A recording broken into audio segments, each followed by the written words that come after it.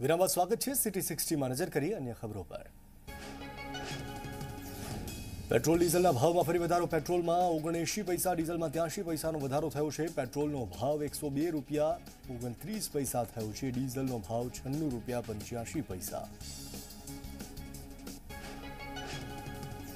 Petrol ડીઝલના સતત વધતા ભાવથી લોકો પરેશાન. વડોદરામાં મોંઘવારીના વિરોધમાં કોંગ્રેસના ધરણા.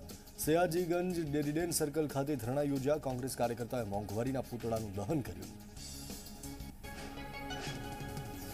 રાજકોટમાં મોંઘવારી મુદ્દે કોંગ્રેસનો વિરોધ. ટાગોર રોડ પર કોંગ્રેસના કાર્યકર્તાઓ ઉગ્ર વિરોધ કર્યો. ભારે સૂત્રોચ્ચાર સાથે રસ્તા પર ઉતર્યા કોંગ્રેસના કાર્યકરો.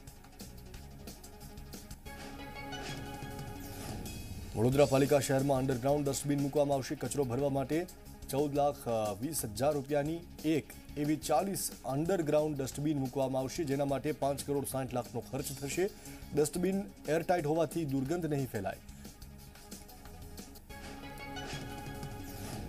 કોલસાના વધતા ભાવના કંટ્રોલ કરવા માટે સુરતના ટેક્સટાઇલ પ્રોસેસર જાતે આયાત કરશે. સસ્તા ભાવે કોલસો મળી રહે તેના માટે જાતે જ આયાત કરવાનો નિર્ણય કર્યો. ક્રુભકોના પોર્ટ પરથી આયાત કરવાનો નિર્ણય કર્યો.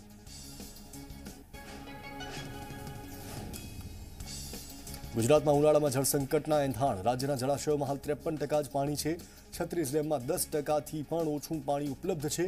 ઉત્તર ગુજરાતમાં સૌથી ઓછું માત્ર સોળ ટકા જળ સંગ્રહ છે. સરદાર સરોવર ડેમમાં પચાસ ટકાથી પણ ઓછું પાણી.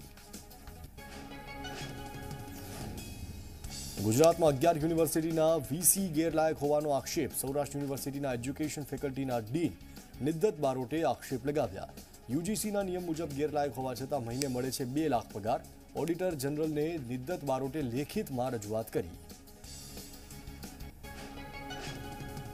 ગુડી પડવાના પર્વની સુરતમાં ઉજવણી કરવામાં આવી. ધારાસભ્ય સંગીતા પાટીલે સમાજના લોકો સાથે ગુડી પડવાની ઉજવણી કરી. મહારાષ્ટ્ર સમાજના લોકોના નવા વર્ષ તરીકે ઓળખાતા ગુડી પડવાના પર્વની ધૂમધામથી ઉજવણી કરાઈ.